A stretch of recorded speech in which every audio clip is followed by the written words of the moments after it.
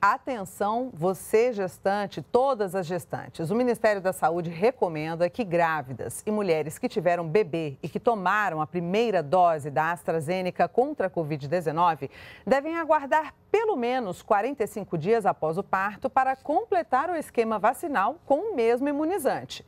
A orientação vem após uma suspensão temporária do uso da vacina AstraZeneca para as gestantes por recomendação da Anvisa após o registro de um evento adverso grave no Rio de Janeiro com possível relação com a vacina. Até o dia 10 de maio, mais de 15 mil grávidas foram vacinadas com o imunizante no Brasil. O Ministério da Saúde reforça ainda que o benefício das vacinas em gestantes e puérperas se mantém favorável, considerando o risco de morte por Covid-19.